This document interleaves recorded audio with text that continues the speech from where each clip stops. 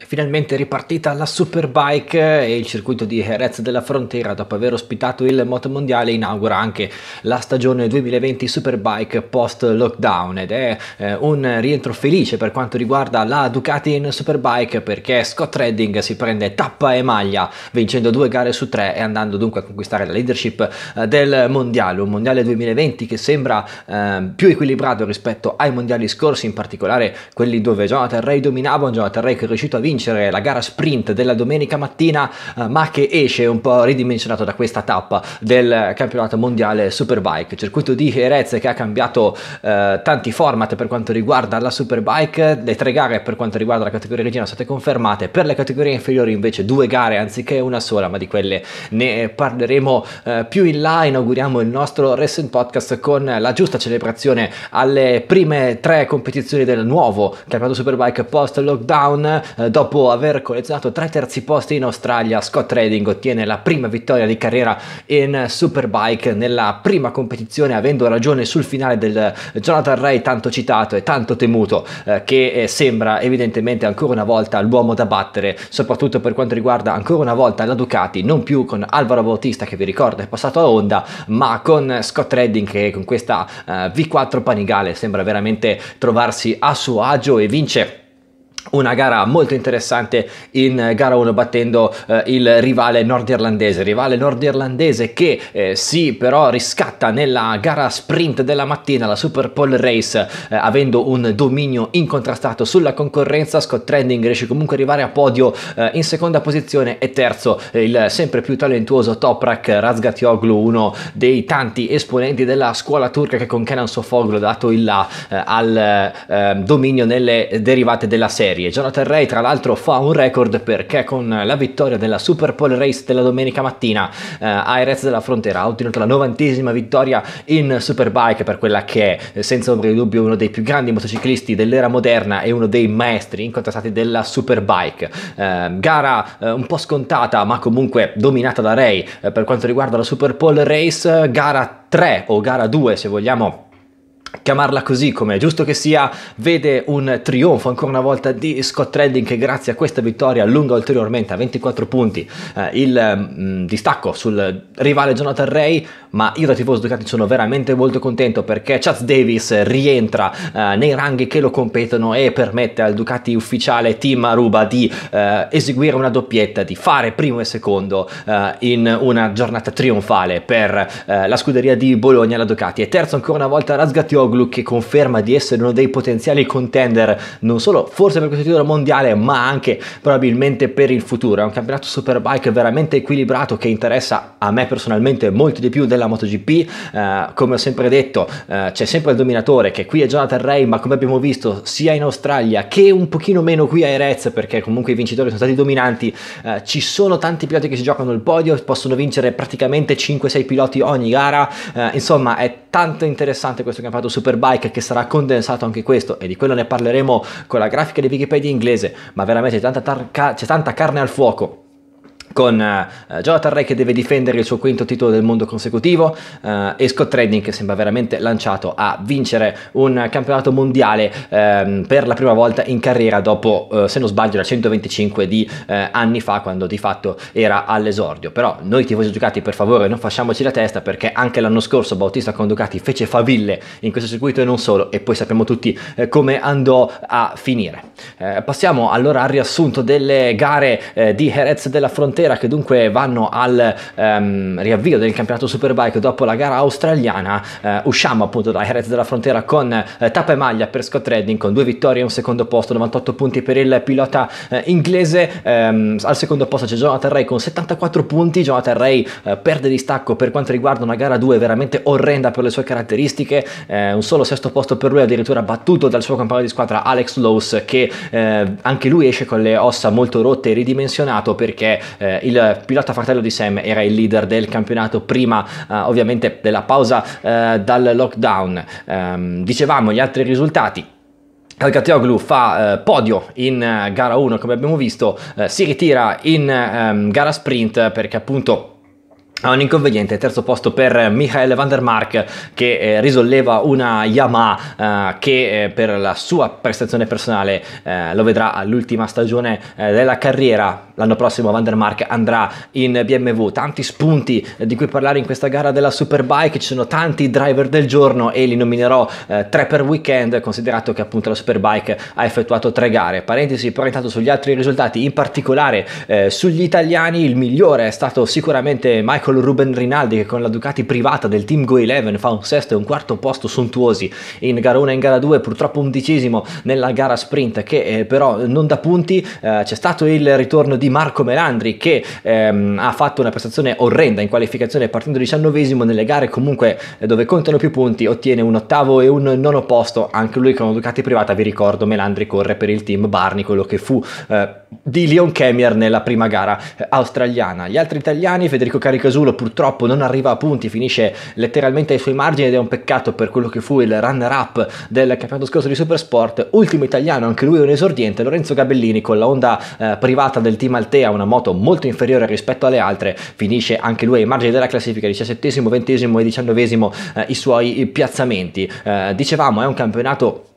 comunque molto equilibrato, um, ci sono tre, tre costruttori praticamente, eh, non dico sullo stesso livello, ma comunque che se la possono giocare tutte le gare e sono ovviamente Ducati, Yamaha eh, e, Kawasaki, ovviamente con gli uomini di punta che possono essere sicuramente Redding per Ducati, sicuramente Toprak Razgatioglu per la Yamaha e sicuramente il cannibale Jonathan Ray per quanto riguarda la Kawasaki. Manca un pochino BMW che con quest'uomo, ovvero Tom Sykes, eh, si dimostra ancora una volta una, una moto da qualificazione perché Tom Sykes partiva in prima fila e dunque eh, un pensamento molto interessante per eh, gara 1, peccato che Tom Sykes ha problemi di gestione gomme e anche di passo gara nel lungo periodo, il stesso discorso si può fare per il suo compagno di squadra, ovvero eh, Eugene Laverty che ha fatto punti solo in una gara su tre. Um, è tornata la Honda a discreti livelli con eh, ottimi piazzamenti in top 10 sia per Bautista che per Aslam e la Honda potrebbe essere il quarto o quinto costruttore eh, secondo me di punta per puntare a uh, tanta um, eterogeneità diciamo nelle prime 10 posizioni. Uh, come dicevo prima nominiamo i miei personali rider del giorno e ce ne sono eh, almeno tre. Eh, io faccio un podio per quanto riguarda le eh, tre gare, poi ovviamente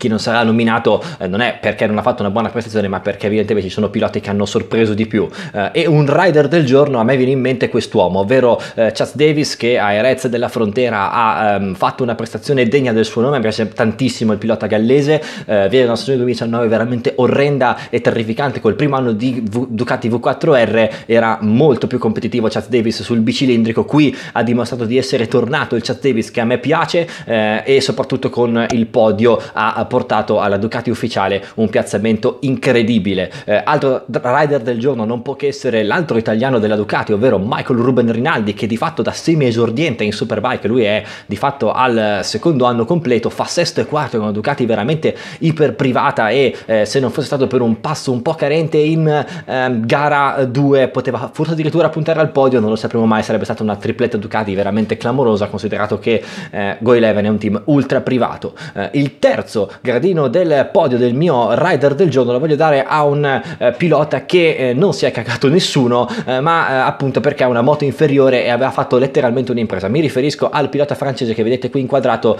eh, Christophe Ponson. Christophe Ponson ha permesso alla Priglia di tornare in Superbike come wildcard alla casa di Noale, sarà uno dei ritorni importanti per il futuro insieme all'MV Agusta di cui però parleremo in Supersport. Ponson di fatto al semi esordio assoluto in Superbike, alla prima gara fa dodicesimo appunto punti con una priglia privata eh, è una prestazione veramente molto molto interessante e quindi io premio col terzo posto eh, Christophe Ponson, pilota francese, anche se avrei potuto premiare altri piloti, vedi per esempio eh, Gareth Gerloff, pilota americano, è andato sempre a punti con la Yamaha del team GRT, insomma eh, tanta carne al fuoco per una superbike che finalmente è tornata e mi ha fatto eh, tornare un po' la passione per questo campionato, superbike che tornerà a Portimao eh, settimana prossima nello stesso giorno in cui appunto correranno sia Formula 1 sia MotoGP e sarà divertente per me fare fare eh, tre podcast diversi ovviamente in tre giorni diversi in base alla priorità. In quel caso la priorità in caso di eventi contemporanei vi ricordo è Formula 1 Superbike e, e MotoGP. Per Scott Redding e Jonathan Ray intanto ha suonato God Save the Queen in quanto piloti britannici anche se Redding è inglese e Ray è nordirlandese. Passiamo alle categorie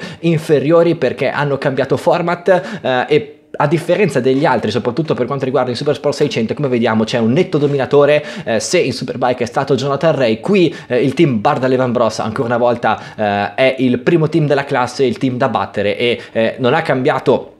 modo di interpretare le gare, ha cambiato pilota, c'è Andrea Locatelli, pilota ex eh, Moto 2, domina il pilota bergamasco le gare di Jerez della Frontera, due vittorie consecutive eh, sul circuito spagnolo, tre totali se consideriamo Philip Island, punteggio pieno per il pilota italiano, per lui ha suonato due volte Fratelli d'Italia, gare veramente dominate senza storia, eh, tre volte secondo finisce sul Clusel, uno dei contender principali a questo titolo del mondo, eh, il podio di gara 1 lo completa Philip Oettel, eh, ex Moto 2 al primo podio in carriera in 600 e terza posizione per Lucas Maia, eh, pilota anche lui molto esperto, in questo caso Maia corre per la Kawasaki del team team eh, Puccetti che comunque eh, fa due podi in due giorni, eh, segno che anche la Kawasaki del team emiliano è eh, uno dei team più importanti in questa categoria. Eh, c'è da parlare di MV Agusta perché come vedete eh, sono cambiati alcuni risultati perché De Rosa, Fuligni e Krumenacher sono stati squalificati dalla gara di Philip Island per delle irregolarità al, ai cilindri del motore. De Rosa che ehm, con i due quinti posti avrebbe potuto aggiungere il secondo posto del podio di Philip Island andando più in alto in classifica, invece solo due quinti posti e la squalifica purtroppo lo regalano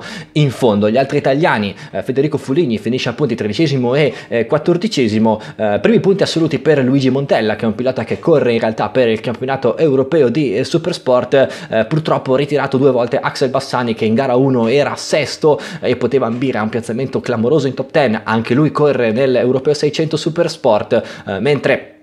in gara 2 si ritira con un inconveniente clamoroso al giro di formazione eh, per quanto riguarda un incidente con Raffaele De Rosa, eh, il pilota campano per fortuna non si è fatto niente, Bassani invece si ribalta e non deve purtroppo nemmeno partire. È un campionato supersport che purtroppo è orfano del campione del mondo, ovvero Randy Krumenacher che ha rotto i rapporti in maniera eh, burrascosa con MV Agusta perché si parlava di lui in ottica eh, Ducati Barney Superbike. Ehm, Krumenacher ha definitivamente rotto il rapporto e dunque la MV Agusta si ritrova con una moto in in meno e senza il detenitore del titolo Supersport dello scorso anno, una vicenda abbastanza incresciosa eh, che ha privato secondo me questa categoria di un pilota veramente molto valido. Eh, Supersport che tornerà appunto a Portimao con il dominio di Andrea Locatelli che speriamo possa continuare in questo modo e vincere meritatamente un campionato Supersport che lo vede evidentemente come l'uomo da battere. Parliamo velocemente della Supersport 300 che anche in questo caso presenta due gare, velocemente la prima gara la vince Unaio Radre, pilota spagnolo all'esordio assoluto, eh, per lui ha suonato la marcia reale, l'inno nazionale spagnolo, secondo Tom Amos, pilota con passato in Moto3 e nel CEV, terza posizione per Scott Deru, uno dei veterani di questa categoria pilota olandese. Eh, gara 2 la vince il nipote di Kenan Sofoglu, Bahattin, che eh, da pilota acerbo dell'anno scorso si ritrova eh, pilota competitivo e con i risultati va al secondo posto nel campionato mondiale eh, e per lui suona l'inno nazionale turco che si chiama la marcia d'indipendenza, secondo posto per una delle eh, pilotesse più importanti di questa questa categoria, ovvero Anna Carrasco che è stata campionessa in carica nel 2018 eh, e nelle prime 5 posizioni nel 2019 fa podio, 29 punti per lei, attenzione ad Anna Carrasco perché può essere una delle contender di questo campionato mondiale Supersport 300 e terzo posto ancora per Tom Boothamos, il pilota inglese che con il secondo e il terzo posto è al primo posto eh, di questo campionato del mondo Supersport 300 assieme a un distacco risicato per Bahattin Sofoglu e un Ion Radre, campionato veramente molto equilibrato che con questo campionato condensato che di fatto si concentrerà um, nella penisola iberica con un'escursione in Francia uh, potrà um, capitalizzare tanto questi punti uh, in ottica campionato del mondo. Sono da confermare alcuni round per, per esempio Vellicum e Misano, uh, anche se ovviamente è tutto ancora incerto, sicuramente scorrerà fino a Magnicur e qui assisteremo a un campionato delle derivate da serie veramente interessante e importante. Io vi lascio col podio della Superbike e la classifica del campionato del mondo con eh, Scottone Redding in prima posizione per la gioia mia e di tutti i tifosi Ducati, secondo posto per Jonathan Ray, attenzione però a mai darlo per vinto perché il nordirlandese è un cannibale e appena pone la dimostrazione, eh, Alex Lowe's da primo passa terzo nel mondiale anche se non è completamente eh, tagliato fuori e attenzione anche al quarto e al quinto classificato che sono piloti a tenere d'occhio, ovvero Topark e Chaz Davis. Sono veramente contento di aver parlato di Superbike e ne parleremo anche la settimana prossima una volta terminato il Racing Podcast della Formula 1, probabilmente il post gara arriverà sempre nella giornata del lunedì prossimo, quindi anche lì un post gara del giorno dopo. Intanto fatemi sapere cosa ne pensate di questo campionato Superbike e saluto da parte di Matthew Torga e dunque ci vediamo presto a un prossimo video.